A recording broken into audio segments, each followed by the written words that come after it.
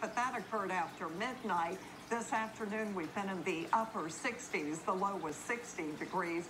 We can look, oh, I mean, what a great day to be out this pup and joy over at the lakefront. So right now, it's